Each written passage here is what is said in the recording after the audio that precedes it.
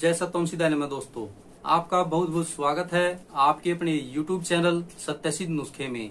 दोस्तों, आज की इस वीडियो में मैं आपको बताऊँगा कि आप एक आयुर्वेदिक नुस्खे से किस प्रकार से जो है बढ़े हुए क्रिएटिनिन के लेवल को और ब्लड यूरिया नाइट्रोजन को नॉर्मल कर सकते हो।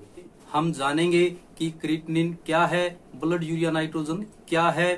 दोस्तों क्रिएटिनिन हमारी मसल्स में बनने वाला एक वेस्ट पदार्थ है, जिसको किडनी फ़िल्टर करके यूरिन के द्वारा बाहर निकाल देती है।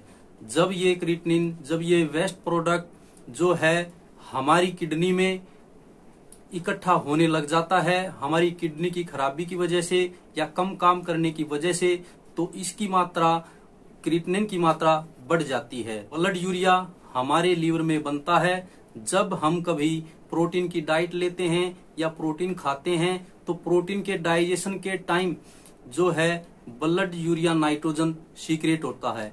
दोस्तों, क्रिएटिनिन और ब्लड यूरिया, ये दोनों ही एक वेस्ट पदार्थ हैं, जिनको किडनी फ़िल्टर करके बाहर निकाल देती है। जब ये हमारे शरीर में इकट्ठा होने लग जाते हैं, किडनी में इकट्ठा होने लग जाते हैं तो इनकी मात्रा बढ़ जाती है। ब्लड यूरिया नाइट्रोजन की वैल्यू 10 से लेके 40 मिलीग्राम के बीच होती है और वहीं क्रिएटिनिन की मात्रा 0.7 से 1.2 मिलीग्राम के बीच होती है। जब इन दोनों की मात्रा इनके ऊपर हो जाए तो इनकी मात्रा बढ़ जाती है और इनके बढ़ने से किडनी फेलियर के चांस बढ़ जाते हैं। तो दोस्तों, बिना देरी के हुए मैं आपको बताता हूँ कि वो नुस्खा क्या है और ये नुस्खा 100 परसेंट काम करता है 15 से 20 दिनों में ही इसका सेवन करने से आपका क्रिएटिनिन का लेवल और यूरिया का लेवल जो है नॉर्मल हो जाएगा। दोस्तों, आपको जो है पाँच ग्राम पीपल की छाल, पाँच ग्राम नीम की छाल और 200 ग्राम वृक दो सरकवात और 200 ग्राम सर्वकल्पवात, ये चारों चीज़ें ले लेनी है और इनको मिक्स करके जो है एक ही मेडिसिन बना देनी है। अब इसको किस प्रकार से जो है आपको सेवन करना है?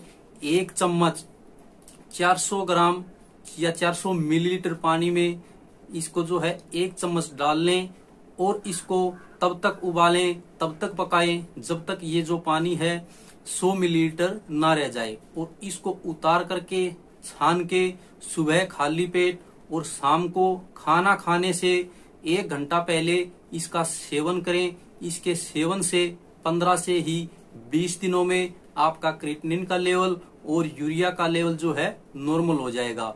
उम्मीद करता हूँ दोस्तों, आपको ये वीडियो पसंद आई होगी। अगर आपको ये वीडियो पसंद आई है तो हमारे चैनल को सब्सक्राइब करें। साथ में घंटी का बटन ज़रूर दबा दें, ताकि आप तक आने वाली हर वीडियो का नोटिफिकेशन सबसे पहले पहुँच जाए। इसी के साथ दोस्तों, मैं आपसे मुलाकात करूँगा अपनी नेक्स्ट वीडियो में एक ऐसा ही नुस्खा लेकर के। तब तक के लिए जय Hind thanks for watching this video